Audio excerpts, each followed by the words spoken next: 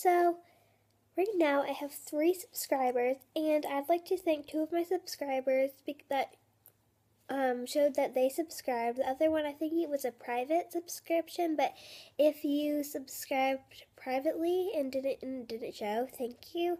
But my two subscribers are Olivia Yake and Soccer Lover, and I just like to give a shout out to those people.